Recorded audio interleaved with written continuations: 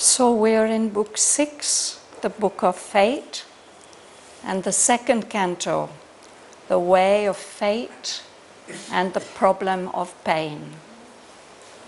And this uh, canto starts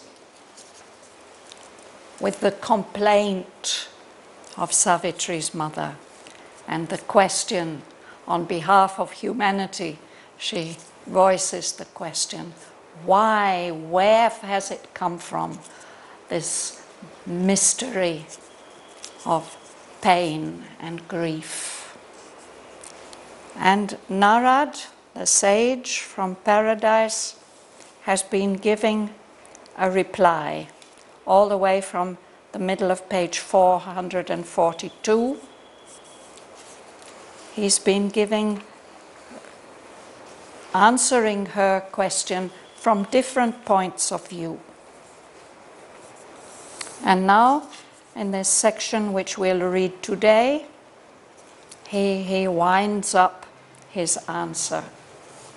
Very surprising answer that he gives to her. I'll read the whole passage and then we'll look at it in more detail.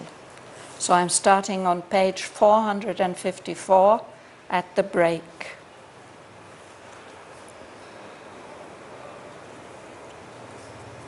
O mortal who complainst of death and fate, accuse none of the harms thyself hast called.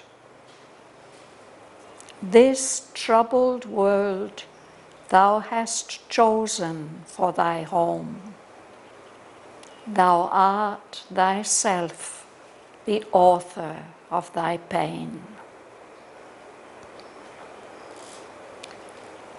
Once in the immortal boundlessness of self, in a vast of truth and consciousness and light, the soul looked out from its felicity.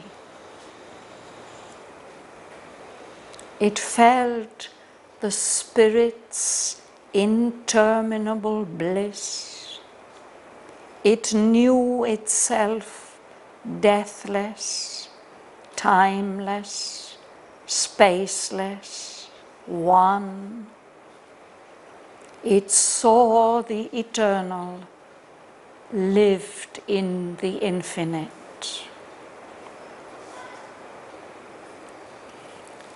Then, curious of a shadow thrown by truth, it strained towards some otherness of self.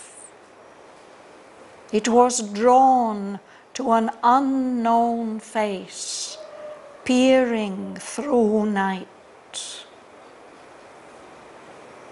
It sensed a negative infinity, a void supernal, whose immense excess, imitating God and everlasting time, offered a ground for nature's adverse birth and matter's rigid, hard unconsciousness, harboring the brilliance of a transient soul that lights up birth and death and ignorant life. a mind arose that stared at nothingness till figures formed of what could never be. It housed the contrary of all that is. And naught appeared as being's huge sealed cause. its dumb support in a blank infinite, in whose abysm spirit must disappear. A darkened nature lived and held the seed of spirit hidden and feigning not to be. Eternal consciousness became a freak of an unsouled, almighty inconscient and breathed no more as spirit's native air. Bliss was an incident of a mortal hour, a stranger in the insentient universe.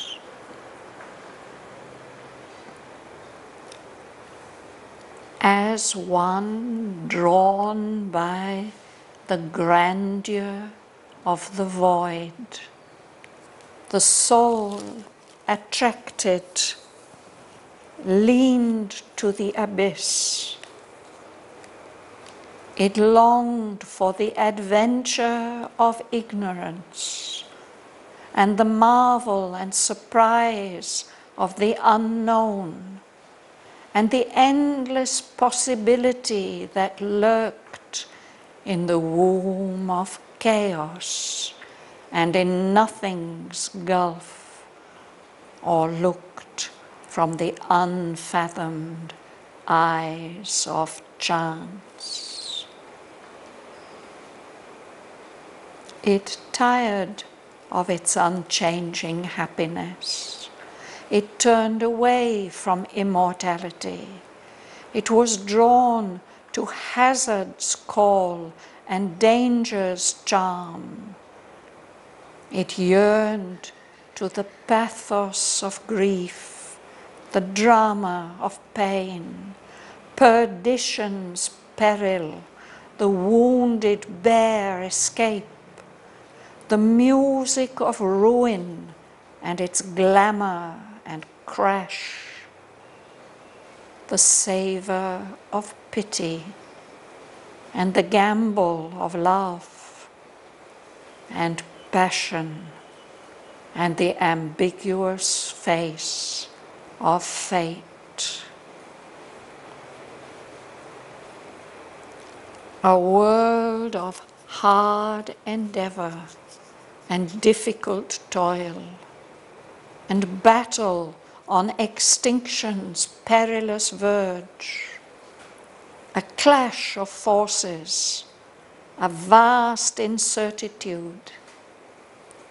The joy of creation out of nothingness. Strange meetings on the roads of ignorance and the companionship of half known souls, or the solitary greatness and lonely force of a separate being conquering its world, called it from its too safe eternity. A huge descent began a giant fall. For what the Spirit sees creates a truth, and what the soul imagines is made a world. A thought that leaped from the timeless can become indicator of cosmic consequence and the itinerary of the gods, a cyclic movement in eternal time. Thus came, born from a blind, tremendous choice, this great, perplexed, and discontented world, this haunt of ignorance, this home of pain. There are pitched desires' tents, grief's headquarters, a vast disguise conceals the eternal's bliss.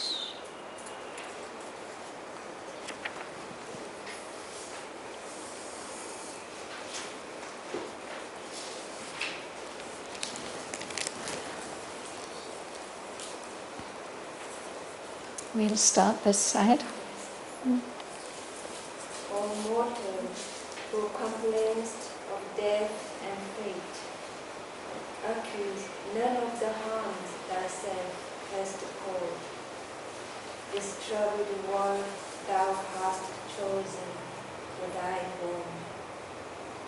Thou art thyself the author of thy pain. Mm. Hard words. Huh? He says, You have no right to complain about death, about fate. Don't accuse anybody else of the harms, the difficulties, the, the ill. You have called on yourself. You have chosen this troubled world for your home. And you have caused, you are yourself the author. The author writes the book, no? We have ourselves written this book of pain that we suffer. Here again, um, Narad is speaking to Savitri's mother, and he's using this second person singular. He's addressing it directly to her. He's not saying this uh, to you, to everybody. He says, Thy, O mortal, you are a human being. You're complaining. She had complained a lot at the beginning, no? He says, Don't, you have no right to accuse anybody. You have chosen this troubled world for your home. And you have caused the suffering that you're experiencing, you have caused it yourself. And then he explains what he means. This is not the simple doctrine of karma, that everything bad that happens to you in this life is the result of something that you've done wrong in a previous life that you don't remember anything about.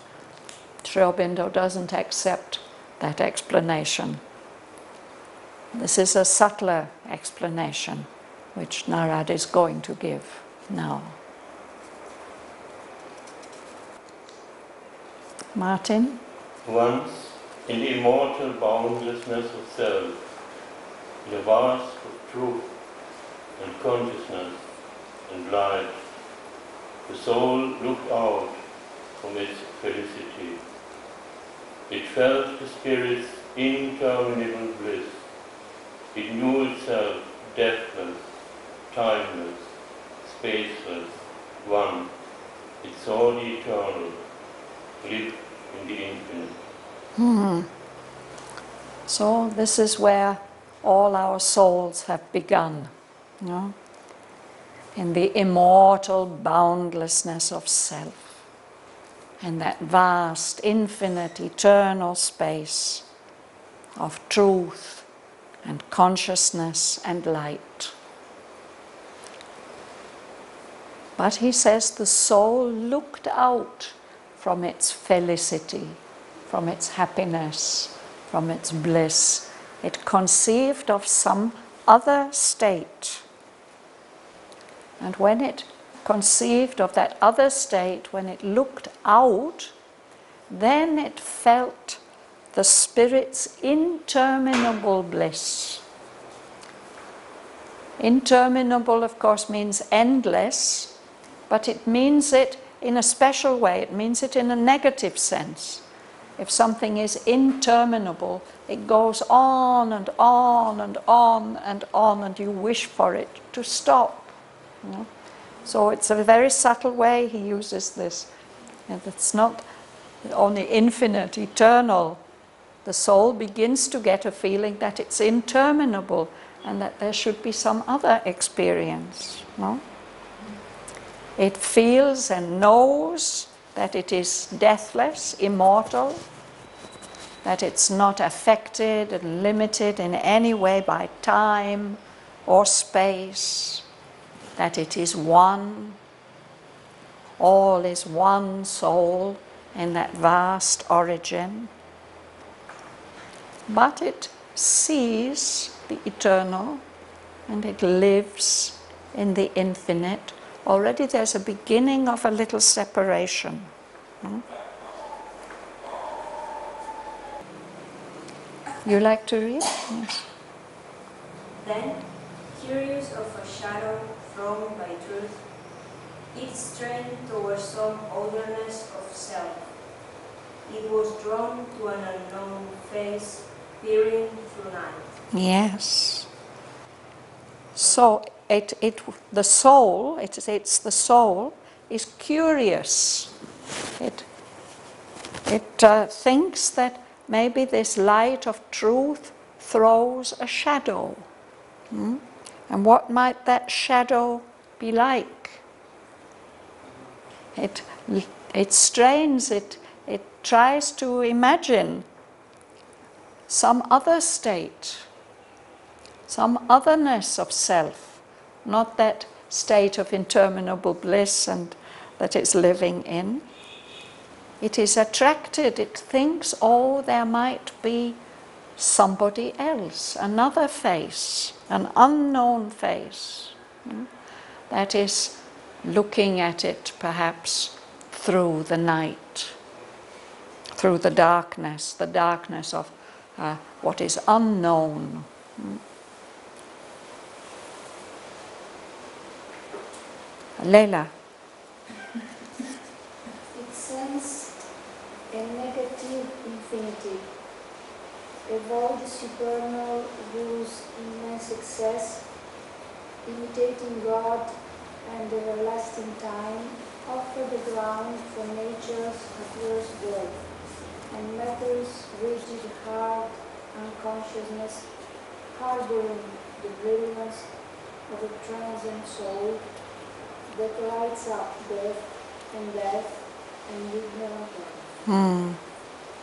So it's attracted to this other possibility, this unknown face, and it senses a negative infinity, not this positive infinity that it's living in, a negative infinity, uh, and a supernal, a, an absolute void, an emptiness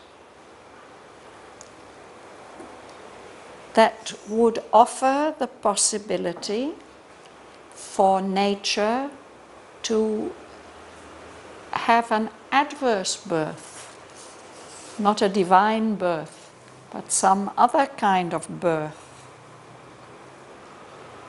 That emptiness imitating God, imitating everlasting time, no?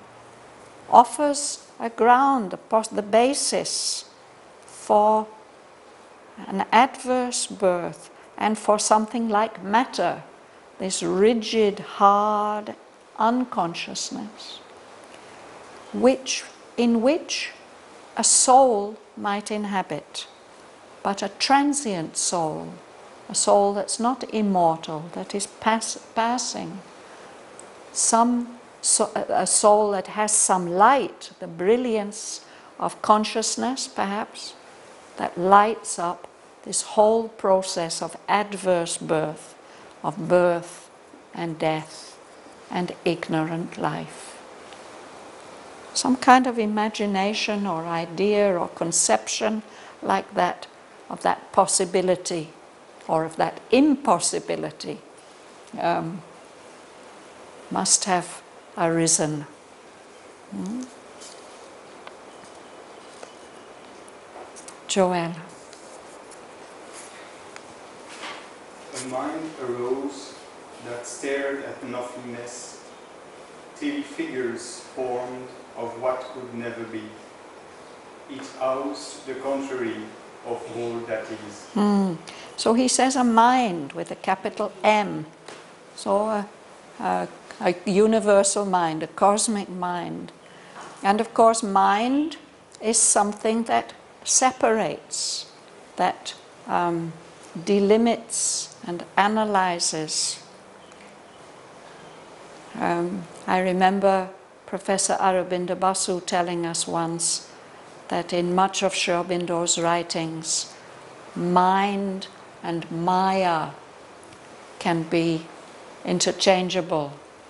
So it's something like that a, a mind that imagines, it's staring at nothingness, at this emptiness, and seeing forms and figures that are really impossible, they can't exist, but it creates a house, a space where the opposite of everything that really exists can form or can be seen.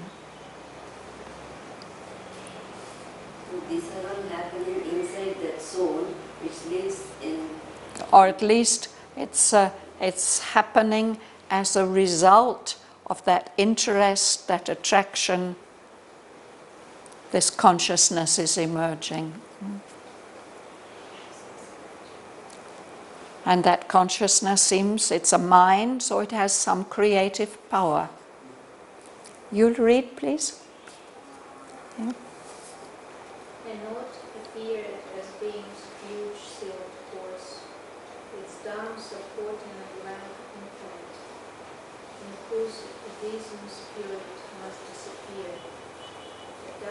Nature and how the spirit hidden and failing not to be. Yes. So, in that mind, this, uh, this imagination appears of a nothing that would be the, um, the huge sealed cause of being. Out of that nothingness, some kind of being could emerge nothingness as the, the, the support of being in a blank infinite that has no characteristics and qualities. This support is dumb, it has now no power of expression. Hmm? And into that naught, into that nothingness, the abysm, the huge depth of that nothingness, spirit must disappear. What lives is a darkened nature, and in that darkened nature, this adverse birth, hidden in it is the seed of spirit. Spirit has to be there somewhere. It's there as a tiny little seed, hidden, and it's pretending not to exist. To feign is to pretend. It's as if it doesn't exist.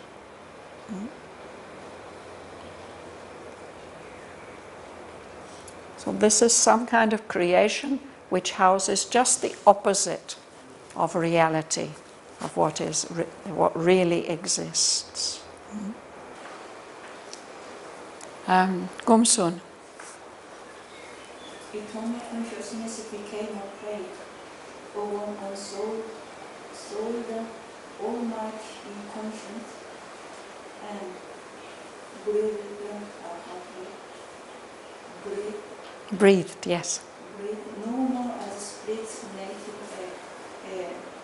Police was an instant of a motor hour, a stranger in the insent, insentient universe. Hmm. So, in this uh, contrary creation, eternal consciousness. We can say this is a, a description of our material universe. No? Here in our material universe, um, consciousness appears as something completely abnormal. There's all this vast, immeasurable, inconscient. No? How in it do conscious beings appear? No? It's like a freak, something abnormal no? in this universe, which is an, uh, seems to have no soul, that seems to be all powerful but inconscient. And the characteristic of eternal consciousness is bliss, is ananda. But in this um, contrary universe, this adverse birth, bliss is no longer breathed naturally as the spirit's native air. It just happens sometimes to some human beings, and that's a mortal hour. It passes quickly. You get a little touch of bliss, and then it is gone. No?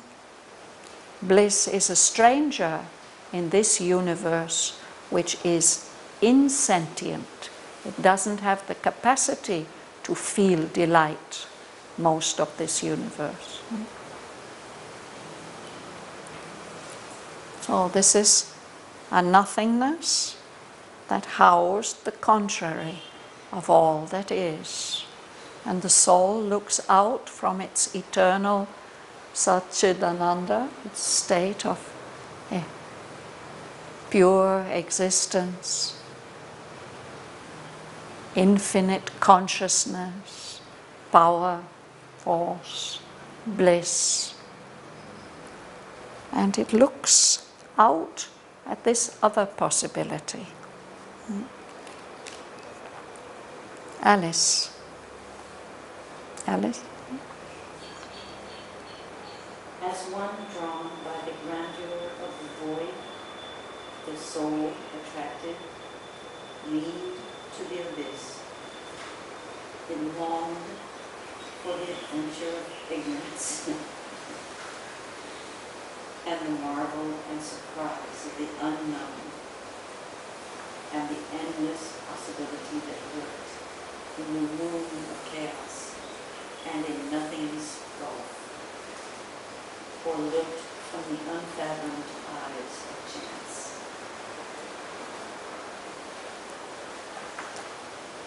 So, this is a very, very poetic way of putting it. No? As if it's attracted by the grandeur, the impressiveness of that vast emptiness.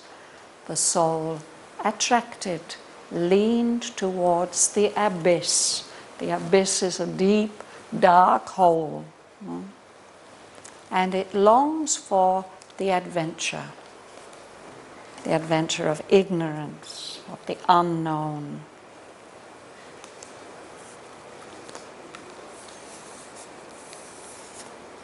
There's a Vedantic teacher called Alan Watts who has written several books about Vedantic teaching. And he explains it. He says, if you are omnipotent and all blissful and eternal and infinite, what do you want?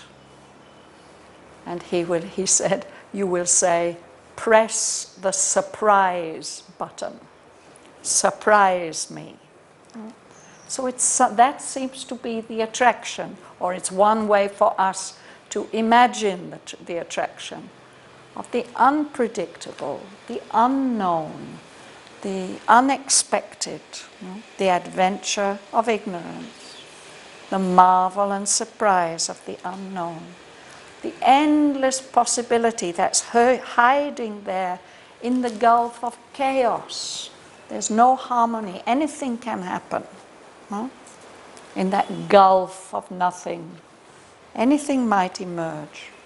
Or maybe these some possibilities are looking from the unfathomed eyes of chance, deep as if chance is offering you this deep regard in which all kinds of possibilities are offered, unimaginable possibilities, impossible impo- uh, possibilities. Hmm? And we, no- we now know what is the result of that. That's why we That's what we're experiencing it, and that's our spur to uh, to move out of it, to find a way. So to emerge. But it shouldn't have all been in vain, no? It's not just a matter of escaping. Escape brings not the victory and the crown. If we entered into this adventure of ignorance with an idea and a purpose, then we should fulfill that idea and that purpose. And in fact, we will have to. I don't think we can escape. We will have to go through the whole thing until we have the fulfillment of the, the manyness. no? The, the one soul wishing to experience itself extended in time and space and individualized in millions of beings, sentient beings.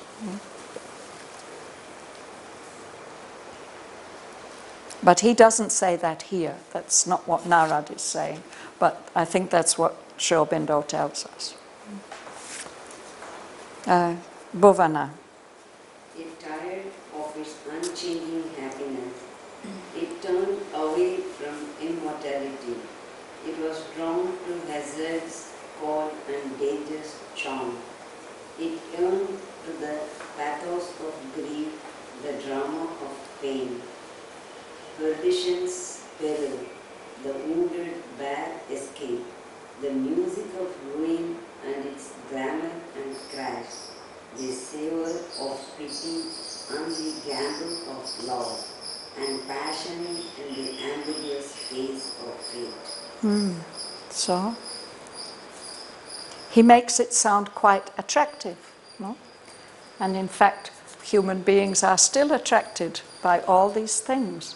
Even if you have a very peaceful, easy life, then you will enjoy to read stories or watch films or dramas that uh, show all these things. No, we are still attracted by all of this. So the soul turned away from its immortality. It's drawn to the call of hazard, of risk, hmm? the charm of danger, the pathos of grief. We may not like to feel grief ourselves, but uh, to sympathize with other people who are feeling grief. hmm? The drama of pain. Peril, the terrible danger of actually perdition. Perdition is when your soul dies. It's not, or when it's in hell. It's uh, not just uh, the death of the body.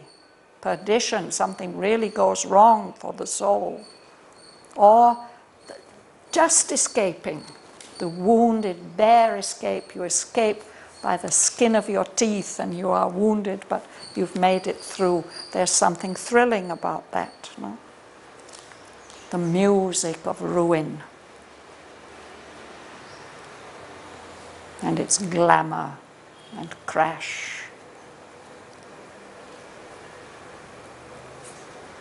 Well, we see the terrible effects of this in the world if we see now the films from Syria and Iraq, what is going on there. But we know that children love to make a big crash, no?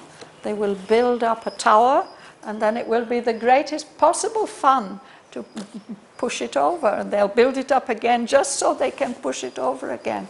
So there's something in us which enjoys all that. no? The savor, the taste of pity. no? And the gamble of love.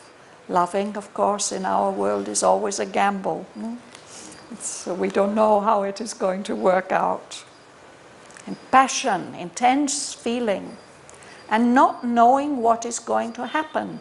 The ambiguous face of fate. Feel something is destined, that we have a destiny, but we don't know how it is going to turn out. Its face is ambiguous, and the meaning is not clear. Very well. A world of hard and demure and difficult toil, and benevolent extension's perilous verge, a clash of forces, a vast incertitude, the joy of creations out of nothingness, strange meetings in the roads of ignorance, the companionship of half-known souls. Also solitary greatness and lonely force of a separate being from feeling its world, or it from too safe eternity. Hmm. So this is all the possibilities that the, um, the soul sees. A world where things are difficult, demand effort, hard endeavor, difficult toil, battle even, battle with the possibility of extinction, with ceasing to exist. no? The clash of forces the incertitude, a vast incertitude. And then bringing out of all that some wonderful creation, the joy of creation out of nothingness. Hmm? And then the possibility of strange meetings, meetings with something new and unknown on the roads of the ignorance, and the possibility of companionship with souls that we only half know, we don't know them fully. Or there's the attraction also of having to face everything all alone, the solitary greatness and lonely force of a separate being conquering its world. This is a kind of uh, satisfaction that human beings can feel. no? So, all these possibilities called the soul out of its too safe eternity. Wants the thrill of danger, adventure, uh, unexpectedness, surprise.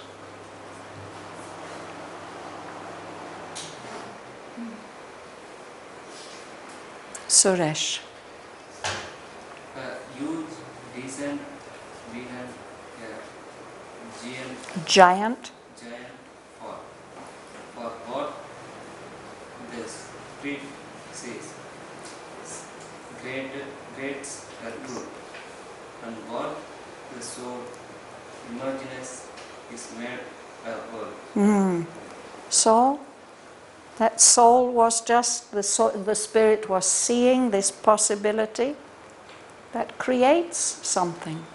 The fact that it sees it, creates it, makes it true. What the soul imagines becomes a world.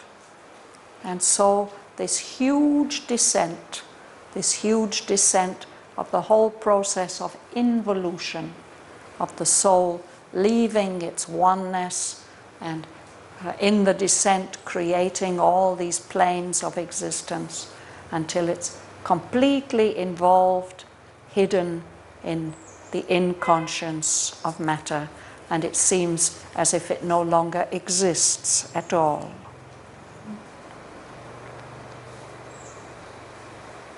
That was the beginning of this huge descent, this giant fall. Dhanalakshmi. a thought that leaped from the timeless and become indicator of cosmic consequence and the Itinerary. itinerary of the gods, a cyclic movement in eternal time. Hmm. So let's try and understand this. The soul originally is timeless, beyond time. If there's a thought, an imagining comes from that timeless realm, no, it can become he says, a cyclic movement in eternal time. It can go on repeating itself. So the imagination of this impossible world, this world of contraries, hmm, could become something that goes on happening. It may have a beginning and an end, but if it's cyclic, then it will happen again and again and again. So that thought, powerful thought that leaps from the timeless, can become a cyclic movement in eternal time. And then it will be an indicator of cosmic consequence. It will show the way in which things have to happen in the universe cause and effect. It will point the way to cause and effect in the universe. And it will point the way to the itinerary. The itinerary is the, the map of the journey. If you go on a tour, you buy a ticket for a tour, they will tell you we start from here at this and this time and we'll travel to Madurai and we'll stay there 10 hours and then we'll go on to somewhere else. That's your itinerary. It's the map of your journey. So that thought will be the indicator of the journey that has to be taken by the cosmic powers, the universal powers that we call the gods. So, this is the way, thus came, born from a blind, tremendous choice, this great, perplexed, and discontented world, this haunt of ignorance, this home of pain. There are pitched desire's tents, grief's headquarters a vast disguise conceals the eternal's bliss. So there was apparently this blind choice in the timeless, a blind, tremendous choice that let's go for this adventure. Hmm? And out of that, uh, what the soul imagines, that imagination of the soul, this world that we live in, this great perplexed. We don't understand things, no? It's impossible for us to really understand things. And especially when we have to decide to do something, it's very difficult because we can't, we don't have enough knowledge to really know what will be the consequences of our actions. And because we are small, separated beings, in this vast universe, we always feel something missing. We are always discontented. There's always something more that we need. This blind, this uh, great, perplexed, and discontented world is a haunt of ignorance. Ignorance uh, is always here with us. No? This is where it, it lives. And this is the home of pain. This is where desire, this whole principle of desire, which some philosophies consider to be the reason for the existence of the universe. Uh, but anyway, this craving, this wanting or something always. They have their, their tents pitched here, and this is the headquarters of grief, where there is desire there's bound to be grief. In this world, the eternal bliss and the eternal existence and consciousness is hidden, concealed in this vast disguise. And he implies you have participated, O mortal, you, you yourself have, are the author of your pain. You've participated in this blind, tremendous choice Uh, so now don't complain. Don't, don't blame anybody else. Especially don't blame God, as she was doing.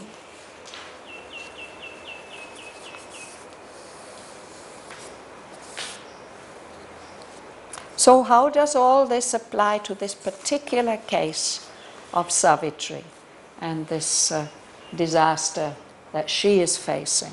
Hmm? Asvapati, her father, is going to ask that question. Uh, we'll read about it next week.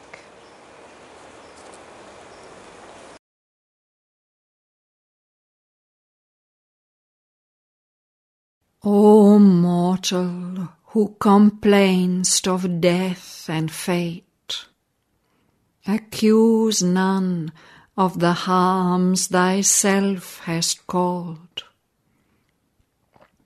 This troubled world thou hast chosen for thy home. Thou art thyself the author of thy pain. Once, in the immortal boundlessness of self, in a vast of truth and consciousness and light, the soul looked out from its felicity. It felt the Spirit's interminable bliss. It knew itself deathless, timeless, spaceless, one. It saw the eternal, lived in the infinite. Then, curious of a shadow thrown by truth, it strained towards some otherness of self. It was drawn to an unknown face peering through night. It sensed a negative infinity, a void supernal whose immense excess, imitating God and everlasting time, offered a ground for nature's adverse birth and matter's rigid, hard unconsciousness, harboring the brilliance of a transient soul that lights up birth and death and ignorant life. A mind arose that stared at nothingness till figures formed of what could never be. It housed the contrary of all that is. A naught appeared as being's huge sealed core its dumb support in a blank infinite, in whose abysm spirit must disappear. A darkened nature lived and held the seed of spirit hidden and feigning not to be. Eternal consciousness became a freak of an unsouled almighty inconscient and breathed no more as spirit's native air. Bliss was an incident of a mortal hour, a stranger in the insentient universe. As one drawn by the grandeur of the void, the soul, attracted, leaned to the abyss.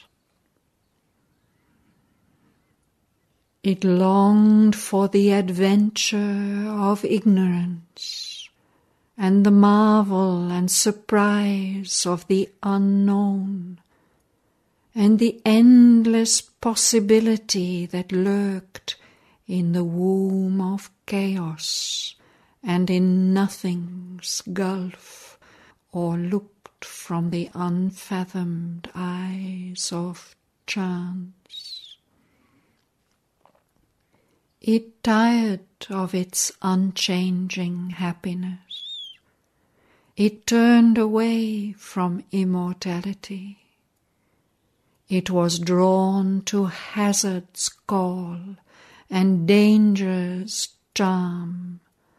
It yearned to the pathos of grief, the drama of pain, perdition's peril, the wounded bare escape, the music of ruin and its glamour and crash, the savour of pity and the gamble of love and passion and the ambiguous face of fate. A world of hard endeavour and difficult toil and battle on extinction's perilous verge, a clash of forces, a vast incertitude, the joy of creation out of nothingness, strange meetings on the roads of ignorance, and the companionship of half known souls, or the solitary greatness and lonely force of a separate being conquering its world, called it from its too safe eternity. A huge descent began, a giant fall. For what the Spirit sees creates a truth, and what the soul imagines is made a world. A thought that leaped from the timeless can become indicator of cosmic consequence and the itinerary of the gods, a cyclic movement in eternal time. Thus came, born from a blind, tremendous choice, this great, perplexed, and discontented world, this haunt of ignorance, this home of pain. There are pitched desire's tents, grief's headquarters. A vast disguise conceals the eternal's bliss.